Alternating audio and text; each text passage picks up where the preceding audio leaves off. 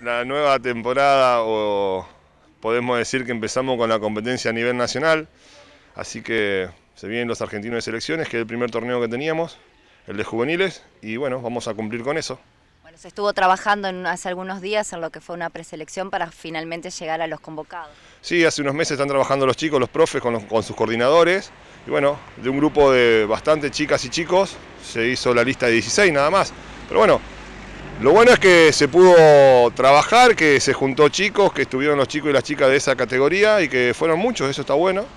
Y bueno, quedaron 16, así que vamos a viajar a San Luis 32 jugadores y jugadoras de handball. Eh, en este caso, el torneo, ¿cuándo comienza? Bueno, ¿cuántos días va a estar durando? Bien, el torneo arranca el lunes 6 hasta el viernes 10 en la provincia de San Luis.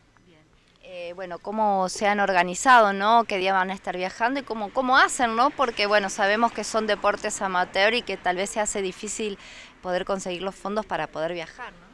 Sí, bueno, se, viaja un par de horas antes, siempre los domingos de la noche salimos y, sí, el, apoyo siempre está de, la, de las familias de los deportistas, más que nada, y bueno, se estuvo haciendo un, por primera vez una fiesta de la asociación eh, para recaudar fondos y bueno y poder solventar gastos eh, tanto para los chicos y para la asociación. En cuanto a lo deportivo, ¿cuáles son los objetivos que tienen? Eh, en lo deportivo siempre bueno está el, desarrollo de, la asociación, de los jugadores para que sigan creciendo y siempre bueno se buscan los mejores resultados. ¿Cómo crees Gastón que se puede llegar a dar el torneo?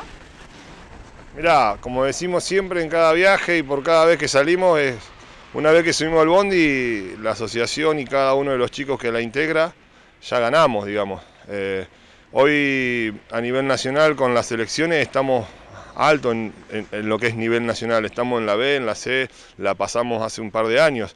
Eh, tenemos juveniles, cadetes y menores eh, a nivel más alto del que teníamos hace unos años atrás.